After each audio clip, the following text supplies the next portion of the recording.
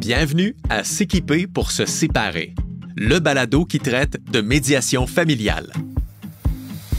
Une séparation peut être une période difficile pour une famille, surtout lorsque les parents vivent dans des pays différents.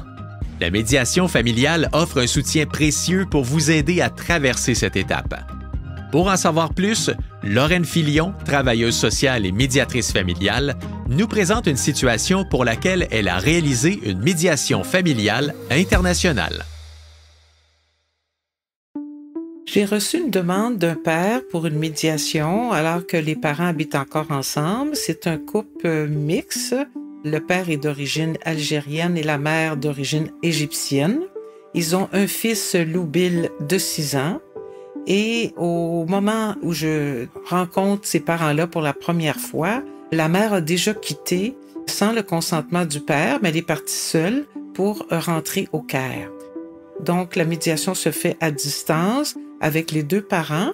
Ça a duré quelques mois. C'est pas facile de faire une médiation à des kilomètres de distance. Il y a beaucoup d'enjeux euh, techniques, mais aussi euh, d'enjeux stratégiques. Mais les parents ont été capables d'arriver à une entente complète pour partager le temps de cet enfant-là auprès de chacun des parents. Donc, l'enfant Loubil de 6 ans allait faire son primaire au Caire avec la maman et il allait revenir au secondaire pour faire son secondaire justement avec le papa. Ils envisageaient même un retour en médiation là, pour faire une révision. Ils ont aussi obtenu, ce qui était très précieux, une consultation juridique indépendante pendant la médiation parce qu'il y avait des enjeux juridiques. Quelles sont les particularités à prendre en considération lorsque l'un des deux parents réside à l'extérieur du Québec? Camille Alix, avocate et médiatrice familiale, ainsi que Lorraine Filion, nous expliquent. Alors, c'est certain qu'on va vraiment travailler en médiation tout ce qui est communication. Déjà, la communication entre les parents. On veut vraiment prévoir comment les parents communiqueront par rapport aux enfants lorsqu'ils sont dans deux pays différents. Alors, on va réfléchir au mode de communication que les parents vont utiliser. Est-ce que ce sera le téléphone? Est-ce que ce sera de s'envoyer des courriels? Est-ce que ce sera des échanges WhatsApp, par exemple? On va aussi parler du contenu des communications. Hein. Euh, de quoi est-ce que moi, parent non gardien, j'ai besoin comme information? Qu'est-ce que je veux recevoir comme information? À quelle fréquence? On va aussi voir le parent gardien, lui, qu'est-ce qu'il peut faire également? Comment il peut répondre à ce besoin-là? Donc vraiment, on va rentrer dans les détails parce que c'est important pour les parents de savoir ce qui va se passer par rapport à leurs enfants, puis comment ils vont communiquer. On va aussi passer du temps sur les communications du parent non gardien avec ses enfants. Alors, est-ce que ça va être également le mode de communication? Est-ce qu'il va les appeler? Est-ce qu'ils vont faire de la visio? À quelle fréquence? On fait attention au décalage horaire, on fait attention aux agendas de tous. Et puis, bah, de quoi on va parler aussi? L'idée, de la communication des parents, c'est que le parent non gardien saura, connaîtra la vie de son enfant même s'il n'est pas présent et pourra embarquer dans sa vie. Alors ça va être parfois euh, de faire les devoirs ensemble euh, par visio euh, tous les jours ou ça va être de dire ah bah j'ai su qu'il s'était passé ça, veux-tu me raconter toi comment tu l'as vécu? Et c'est certain que c'est très important dans ces médiations internationales. Maintenant, Camille, si tu permets, il y a aussi quand est-ce qu'on se voit en vrai, comme disent les enfants? Parce que on a beau se parler sur FaceTime, sur WhatsApp, mais c'est très important les contacts euh, réels. Et là, faut les organiser dans quel pays ou dans quelle province, à quel moment. Faut regarder aussi pour les moments qui conviennent à l'enfant, aux parents. Et ça va aussi toucher des enjeux financiers parce que euh, si le parent non gardien habite euh, très très loin de l'autre parent, ben est-ce qu'il a les moyens ou ils ont les moyens les parents de payer des billets d'avion? Parce que là on parle de billets d'avion entre les deux provinces ou pays, à quelle fréquence ça pourra limiter les contacts. Mais pour les enfants, si je repars du point de vue des enfants, c'est très important ces contacts en personne. Effectivement, si je devais rebondir sur ce que tu dis, Lorraine, pour ces billets d'avion-là, c'est sûr qu'on va non seulement parler du prix des billets d'avion, mais aussi parfois on va faire des budgets de se loger sur place quand le parent doit venir, les modes de transport qui vont être utilisés, où est-ce qu'on va faire l'échange des enfants également, et c'est certain que ben, on va faire des calculs beaucoup plus poussés dans ces médiations-là. Et parfois, on va aussi jouer sur la pension alimentaire et euh, les billets d'avion qui vont nécessairement entrer dans ces calculs euh, entre les parents. Quels sont les enjeux rencontrés lors d'une médiation familiale internationale?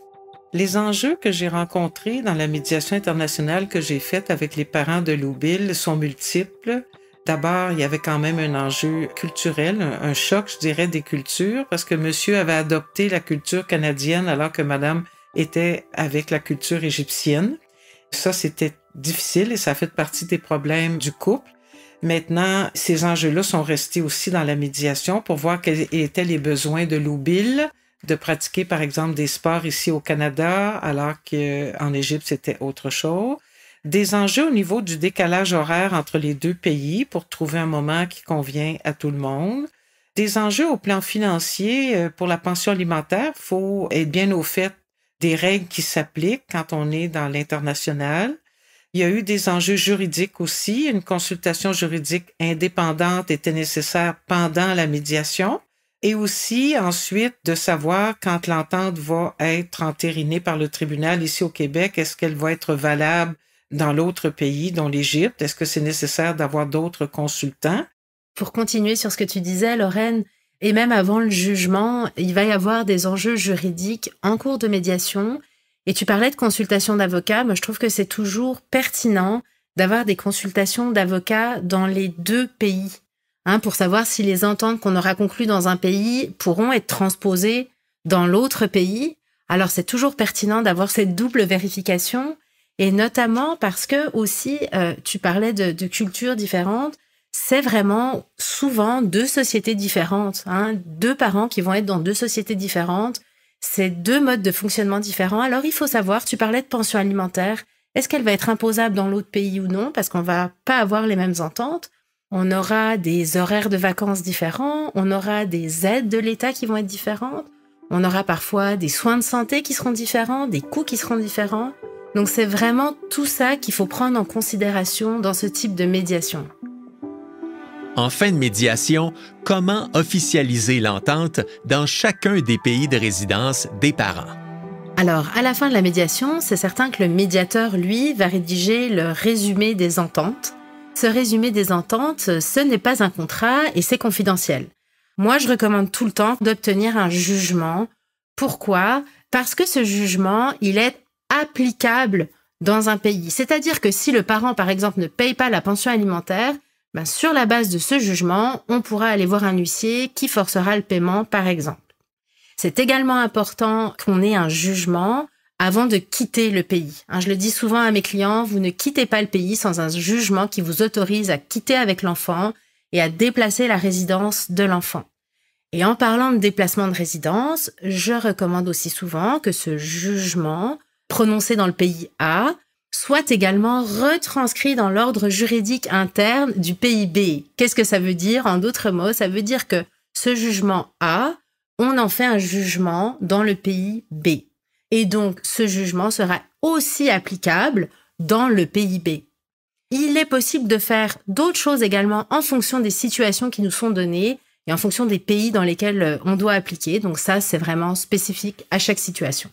Le médiateur familial, qui est du domaine psychosocial, va faire son résumé des ententes. Il va conseiller fortement aux parents d'avoir justement un conseiller juridique indépendant. Et dans le cas des parents de Loubil, ce qui a été fantastique parce qu'il était vraiment urgent, la mère avait déjà son billet d'avion pour rentrer au Caire. Les deux parents étaient d'accord d'obtenir jugement avant qu'elle ne quitte le pays. Donc, ça a été fait grâce à une intervention diligente de l'avocate qui les a représentés. Donc, dans les 48 heures, elle est allée ce qu'on appelle le stade intérimaire, donc rapide, en urgence au tribunal, à la Cour supérieure. Et donc, les deux parents ont pu avoir un jugement avant que Loubil ne quitte le Canada. Pour terminer, nos deux professionnels nous rappellent l'importance de la médiation familiale lors d'une séparation qui implique des personnes n'habitant pas dans le même pays. Bien, la médiation familiale internationale, c'est une médiation, oui, effectivement, qui est complexe, qui demande euh, des connaissances, qui a des enjeux importants. Mais en même temps, c'est tellement important de la développer, de la pratiquer, de développer effectivement une expertise parce que les gens sont de plus en plus mobiles, pas juste au plan international, mais au plan national, d'une province à l'autre. Il y a des unions, vous savez, qui durent de moins en moins longtemps alors les gens vont se mettre en couple, ils vont se séparer euh, dans une durée de moins de 10 ans. finalement, l'enfant, lui, comment est-ce qu'on peut aussi faire en sorte qu'il garde contact avec ses deux parents? Donc, la médiation familiale, nationale et internationale a sa place. Je trouve que comme pratique de médiatrice, quand on fait de la médiation, on se rend compte à quel point la médiation est importante dans la séparation entre des parents parce qu'elle permet une communication. Et du moment que la communication existe après la séparation, il y a quelque chose qui est gagné et je trouve que c'est très positif. Et alors, si on l'applique à une séparation internationale, où un enfant sera séparé d'un parent par une grande distance, qu'elle soit plus ou moins grande, mais qu'une distance existe, alors la médiation est d'autant plus importante parce que cette communication est essentielle. Et j'avoue que j'ai commencé par la communication et je finis par la communication parce que je trouve que c'est vraiment le nerf de la médiation familiale et qu'on a vraiment besoin de cette communication entre les parents quand ils habitent loin.